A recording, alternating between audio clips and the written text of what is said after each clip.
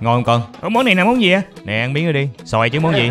Riết mày giống thổ dân quá cái gì cũng không biết hết trơn á. Lu nói con đang có bầu thèm chua cho nên ba mua xoài cho con ăn nè. Con dặn ảnh là mua me với mua mít chứ phải mua xoài đâu.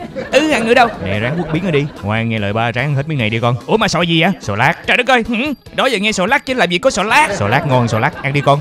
Vậy ông có ăn qua thử chưa? Chưa. Ông chưa thử sao ông kêu tôi ăn? Ba để con ăn trước con có bị gì ba biết thử. Ừ tôi không ngờ trên thế gian này còn tồn tại người tốt bụng như ông dữ vậy luôn ăn ăn ăn Ơi trời xoài gì đâu mà nó dẻo nhẹo nó cứng ngắc vậy ăn sao mà ăn? Thôi đi liếm liếm liếm liếm chắc nó cũng teo lại phải không? Liếm à Ơi xoài này không phải xoài lắc cũng không phải xoài lát mà xoài gì á ông ơi? Liếm hoài nó cũng không teo nó xoài gì á nói thiệt đi tôi thương. Ba thấy nó trồi lệnh bệnh dưới sông á cho nên ba lượm lên ừ? dưới sông hả? Ừ cái sông nó thông với hồ cá tra phải không? Ừ thì đúng rồi cái xoài nó kế hồ cá tra Ê, sao nữa? Thì cái xoài nó kế bên hồ cá tra cái nó rụng xuống nó chảy ra sông. Nó có chảy ra sông chung với cái gì nữa không? Với mấy cục vàng vàng vàng á con. Hả?